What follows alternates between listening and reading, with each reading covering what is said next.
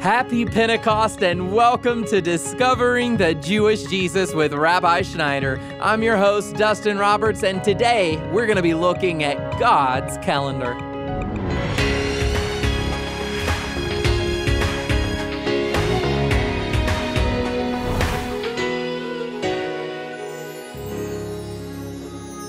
Jewish people have been celebrating Shavuot, also known as the Feast of Weeks and Pentecost, for over 1,500 years before Jesus came to the earth.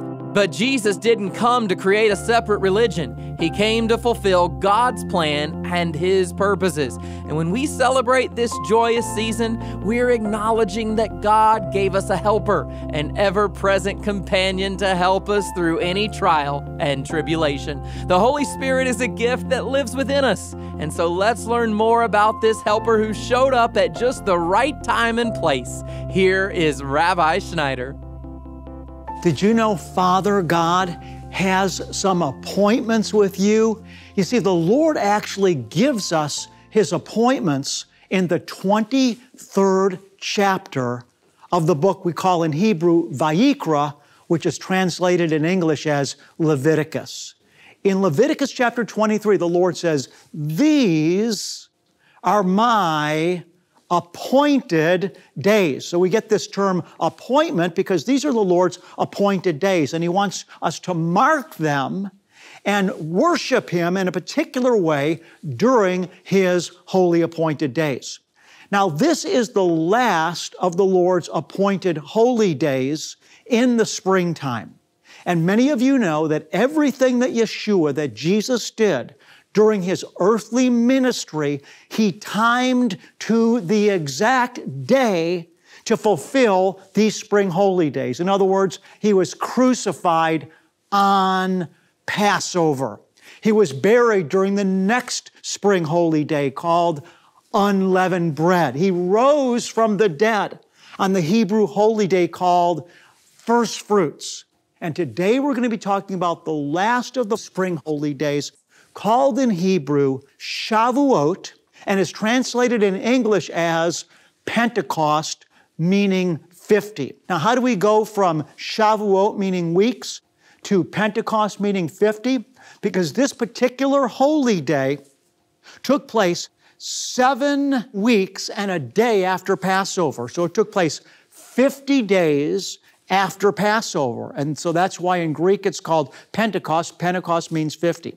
So we're going to zero in now on what Pentecost is about, and particularly, beloved ones, how it applies to your life and my life today. So, Father God, we thank you now for the Holy Spirit. We ask you to come and touch us, and Father, that you would carve a deeper place of habitation in our soul through hearing your word today, that you could rest within us even as you rested in the tabernacle. In Jesus' name, Amen. By the way, as a side note, did you know in the book of Shemot, in the book of Exodus, when the Lord told Moses to build him, we call it in Hebrew a mishkan, which is translated in English as tabernacle, the Lord said, I want you to build me this mishkan, this tabernacle, exactly according to the pattern that I show you.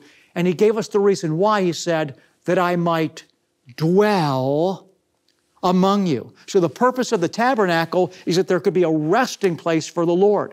The same thing is true in our lives. When we're walking under the lordship of Yeshua, when we're submitted to His Word, when we're walking under His obedience, a covering comes over our life, and we become then a place where the presence of the Lord can rest. And so the more submitted we are to Yahweh, the deeper His Spirit can rest within us. And I believe that these holy days that the Lord gave us in Leviticus 23 are important because each one reminds us of a key truth of the Lord's redemptive process that is operating in our life. So that, for example, when we celebrate Passover, we're reminded of the importance of the blood. Today we're going to be talking about Pentecost, and we're going to be reminded today as we consider Shavuot or Pentecost about the importance of being led by the Holy Spirit. So we're going to begin by going to the original source. We're going to go to the Torah today. And by the way, the Torah actually means instruction, but we actually more formally refer to the Torah as the first five books of what many Gentile Christians would call the Old Testament, the writings of Moses, also referred to as the Pentateuch. So we're going now to the book of Leviticus, chapter 23 beginning at verse number 16 the grass withers and the flowers fade, beloved ones, but the word of the Lord, bless his name, abides forever. Hear the word of God. You shall count 50 days to the day after the seventh Sabbath, then you shall present a new grain offering to the Lord. 50 days after Passover, a new grain offering was presented to the Lord. Most of these holy days were rooted in an agricultural context in which Israel was living in when the word came to them, but they have other levels of anointing on them. So that over time, the Hebrew people associated Shavuot or Pentecost with the day that the Lord appeared to them at Mount Sinai in the wilderness in fire and glory with the mountain shaking. They then heard the voice of God, and then the Lord wrote his law on the tablets of stone, and Moses gave them to the people of Israel. So let me say again Shavuot or Pentecost, originally rooted in Israel's agricultural process, but as time went on, it came to be understood as the day that the God of Israel, which most Semitic scholars believe is pronounced a breathy Yahweh, a living, active form of I am, gave his people the Torah. And so think about this now we come to Acts chapter 2, and the Bible says the day of Pentecost had come. We also read in the scriptures of Paul wanting to get back to Jerusalem for Pentecost. So, Pentecost, I want to first of all make very clear, is not a holiday that first appears in the Brit Hadashah or the New Testament. Christians, I want you to hear this. Pentecost is not first of all a Christian holiday in the sense that it's first revealed in the New Testament. Rather, Pentecost had been celebrated for 1,500 years by Israel before we came to Acts chapter 2. Pentecost is rooted once again in the Torah in the 23rd chapter of Leviticus, verse number 16, which I just read. So when we read in Acts chapter 2, that the day of Pentecost had come, there was a history there that those that were gathered in the upper room were thinking about. They weren't, when they gathered in the upper room, they were not anticipating that the Holy Spirit would fall. Okay? Pentecost is not, first of all, about Pentecostalism, okay? It's about God fulfilling that which He had given the Hebrew people. And so let's read now in Acts chapter 2. The day of Pentecost had come. They're gathered together in the upper room. They're thinking about what had happened 1,500 years earlier when the God of Israel, when their God had given them the Ten Commandments. They're recalling the history. They're remembering the fire on the mountain. They're remembering that the mountain shook, that Yahweh spoke, that the people trembled, and Moses then came down the mountain, gave them the law, and recited to them all he had received from Yahweh and the mountaintop, and how the nation of Israel said, All that Yahweh has said we will do. And then Moses, Moshe, sprinkled them with the blood of the covenant. That's what they were thinking about in the upper room in Acts chapter 2. They weren't thinking about going to some city where there was a Pentecostal revival going on. They were thinking about Israel's history. Then suddenly, while they're thinking about the same God, the same Lord of all that appeared to them at Sinai, suddenly manifests himself and makes entrance in the upper room where they were seated. And the whole room was filled with glory and smoke, and the same fire that they saw on top of Mount Sinai. The same wind, the same glory entered in to that upper room. You're listening to Discovering the Jewish Jesus, and Rabbi Schneider will be right back. But first, we have a special announcement. Let's check it out. Over the last few decades, God's people have come to associate the rainbow with the LGBTQ community. But have we surrendered? Did God have a different purpose for the rainbow? Revelation 4 tells us, and there was a rainbow around God's throne. This July 28th through the 30th, join Rabbi Schneider as he leads a movement across the globe to take the rainbow back. Together, we can help restore the meaning of the rainbow to its God given purpose and point mankind back to Jesus. United, we will oppose unrighteousness by empowering God's people to push back the powers of darkness to not only protect our children, but generations to come. To answer the call and take your stand, visit takingtherainbowback.com for more information and join this growing movement today. That's takingtherainbowback.com. Discovering the Jewish Jesus could not accomplish its mission without partners like you. Together, we are preparing men and women for the soon return of Jesus. So please stop by our website to give a one time donation or to partner with us on a monthly basis. Through your simple act of generosity, you are making an impact. Go to discoveringthejewishjesus.com or call 800 777 7835. And now, with the conclusion of today's message, here is Rabbi Schneider. Hear the word of God. When the day of Pentecost had come, they were all together. And I love that, that they were together because we're not called just to walk individually, we're called to be together. We're a body. When two or three are gathered together, I am in the midst, saith the Lord. The day of Pentecost had come, they were all together in one place. And suddenly, and I love that word suddenly because there are sometimes things that the Lord does in our life, it's a suddenly moment. And we should be open to and expect and even pray for suddenly moments with God where He'll interrupt our lives and do something that brings us to a brand new place. We believe, beloved, in a suddenly God. And I speak a word of suddenly blessing in Yeshua HaMashiach's name over your life and circumstances right now. Let it be. Then suddenly there came from heaven a noise like a violent rushing wind, just like that mountain was quaking at Sinai. And it filled the whole house where they were sitting.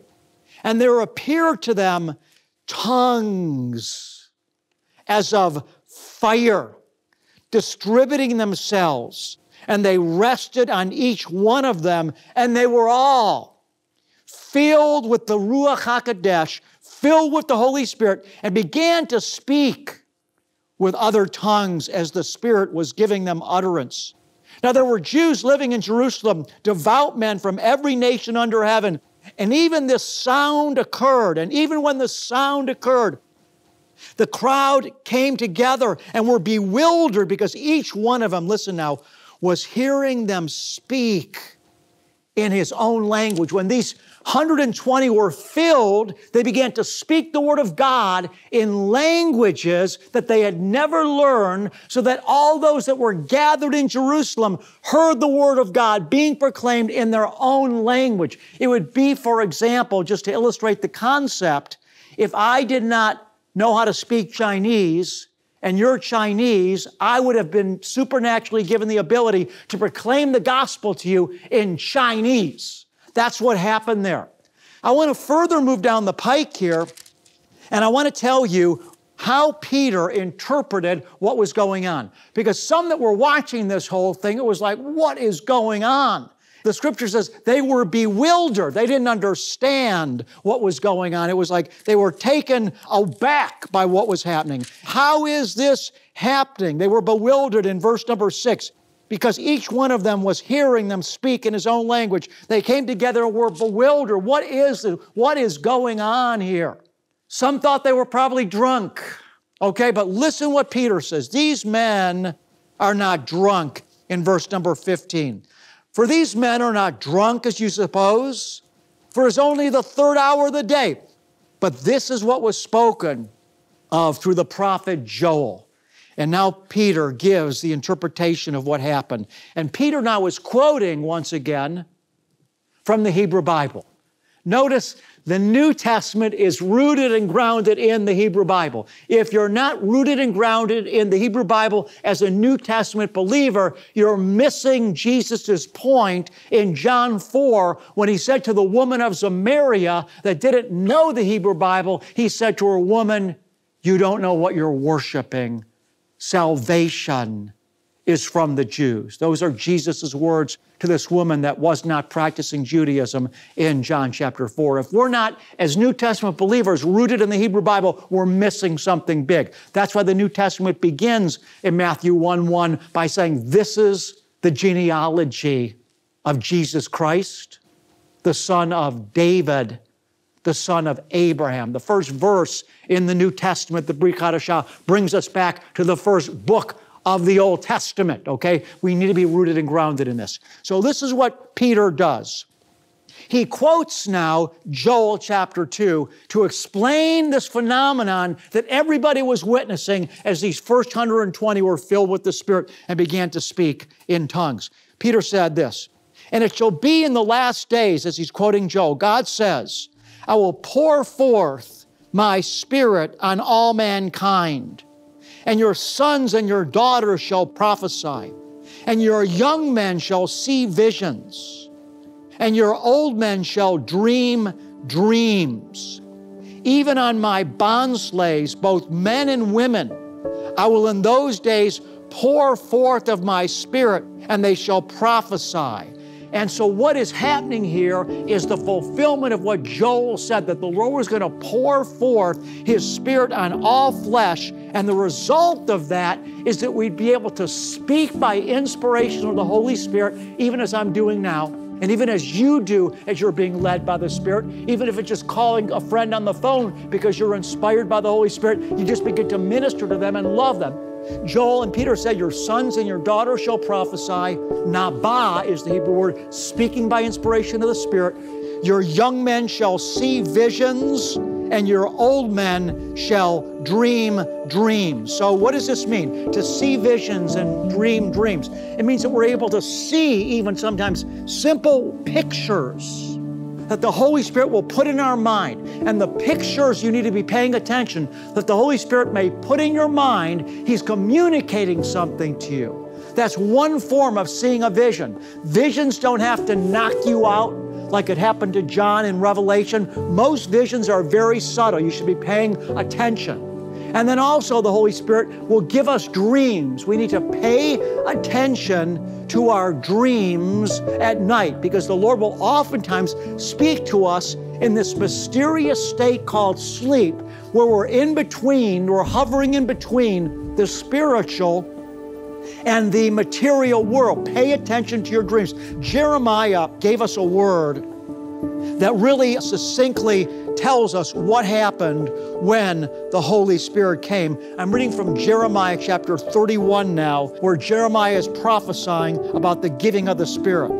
Behold, days are coming, declares the Lord, when I will make a new covenant with the house of Israel and with the house of Judah, not like the covenant which I made with them and their fathers when I took them out of Egypt by the hand. He said, That covenant which they broke, but behold, I'll make a new covenant with the house of Israel. The Lord said, I will put my law within them and I'll write it upon their heart. Ezekiel talks about this same promise where the Lord would put his spirit within us. Beloved one, you now, because of your love and faith in Jesus, have been given the most precious gift that God could give anybody. You've been given the gift of His Spirit. You're listening to Discovering the Jewish Jesus and the Bible teaching of Rabbi Schneider. You know, we also have a wide variety of resources and study guides available to help you go deeper in your studies of God's holy days. So if you'd like to learn more about these annual appointments that God has set on our calendars, like Shavuot, which ends tomorrow night at nightfall, or if you'd like to purchase the book that Rabbi mentioned earlier, titled Experiencing the Supernatural, then please visit us online at discoveringthejewishjesus.com. Rabbi's book is an excellent companion to today's study, and these tools and our daily program are made possible in part because of friends like you who partner with us prayerfully and financially. And to tell us a little bit more about why your faithful partnership is so important, I want to turn it back over to Rabbi. Beloved, let me put an exclamation mark on this. Everything that Yeshua did while he was on earth, approximately 2,000 years ago, he did, his major acts of redemption were accomplished during God's holy days, as revealed in the 23rd chapter of the book of Leviticus. Crucified on Passover, and then the giving of God's Spirit to His people on Shavuot or Pentecost, which those disciples had already been celebrating 1,500 years before Jesus came. What an amazing connection between Jesus and the Hebrew roots of our faith contained in God's sacred days. I want to ask you as we're celebrating Shavuot, would you sow a financial gift to the Lord through discovering the Jewish Jesus? This is one of the times of year that all of God's people came to Jerusalem and offered up to Him a special gift there. I want to thank you for your love and for your financial gifts because, beloved ones, without you, I couldn't be doing what I'm doing, reaching millions of people around the earth with the gospel. To give a one time gift today or to partner with us by giving a monthly gift, simply visit discoveringthejewishjesus.com or give by connecting with one of our friendly team members. The number to call is 800 777 7835. That's 800 777 7835. You can also give a donation through the mail by writing to us at Discovering the Jewish Jesus, P.O. Box 777, Blissfield, Michigan 49228. We are so grateful for your support.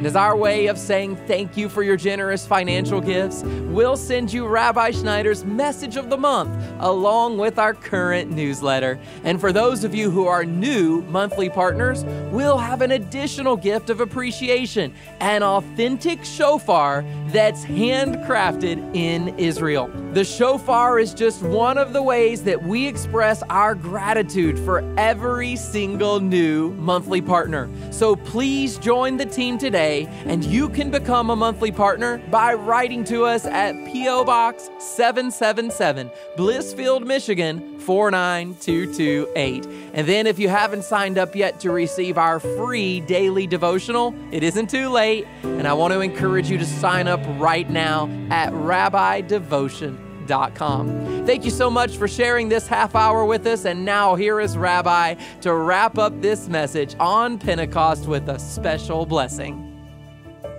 What I love about the Aaronic blessing is that it did not originate with man. The words actually proceeded from the very essence of God Himself. The blessing comes from the book of Numbers, chapter 6. So listen to these words and receive the blessing of the Lord into your life today. Yava Recheche Yahweh Vayishmarecha Yair Yahweh panav elecha vichunecha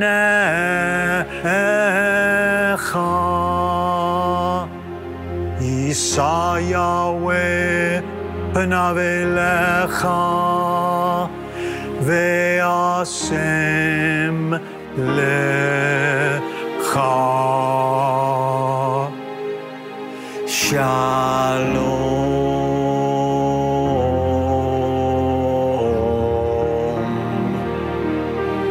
The Lord bless you and keep you.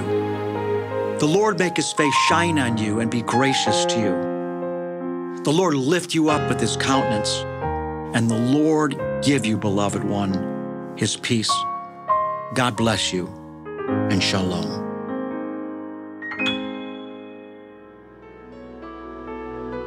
I'm Dustin Roberts, and Discovering the Jewish Jesus is a production of Shalom Ministries. Be sure to join us next time when Rabbi Schneider continues our study from the book of Revelation.